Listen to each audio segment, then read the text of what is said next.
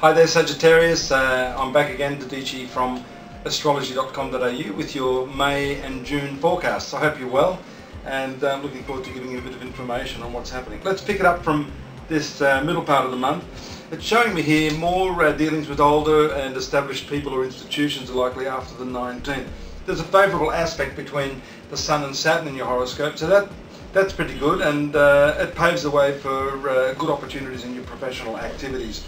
Partnerships are going well for you, particularly in the spotlight after the 20th, and uh, some shared resources, loans and other borrowings may be a feature of these negotiations.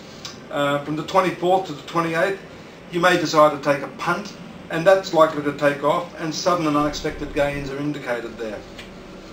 Uh, around the same time, uh, the 21st on, you'll find yourself in two minds over some relationship. Ah, decisions, decisions, Sage. It's hard, isn't it? Wow. Well, for singles, this can be an interesting period in as much as uh, a couple of people could be showing interest in you, but uh, not so good if you're already established in a relationship, is it? How do you get out of that one? Maybe you don't. Someone born under the signs of Mercury, uh, that is Virgo or Gemini, could have a stronger than usual influence on your life. If you're born between, uh, if you're uh, born under Sag, uh, between the 29th and 31st, someone could have some wonderful news relating to an engagement or a wedding.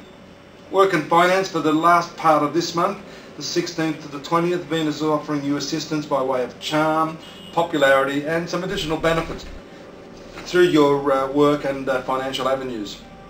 If you're an independently uh, orientated business person, then uh, you may partner up with someone in this period uh, to augment your opportunities.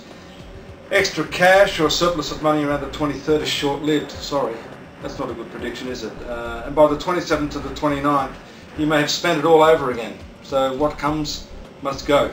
Uh, for your June uh, period, let's have a look at this. Uh, for your romance, the 1st to the 5th, um, shows that it's going to be great to be appreciated once again, especially in respect of your uh, career objectives. Someone you love may finally appreciate what you're actually doing. After the 7th, don't push yourself too much. Pat yourself on the back and buy yourself a gift. There could be some tensions in your relationships between the 8th and the 10th as someone in your vicinity tries to interfere with what you think is the correct course of action. Stick to your guns.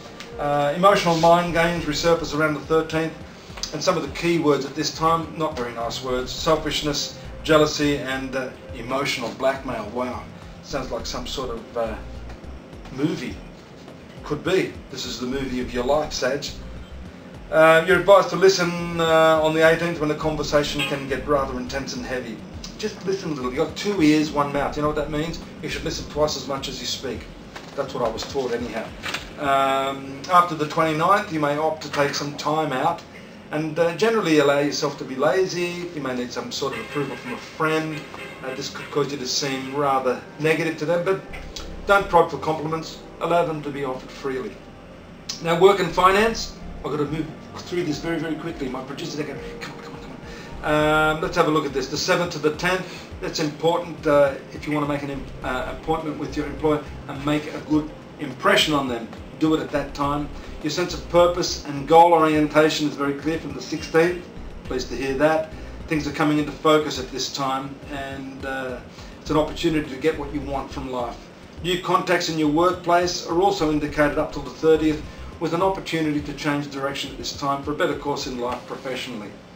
Wow, did you get all that? Well, I don't think I've ever spoken so quickly.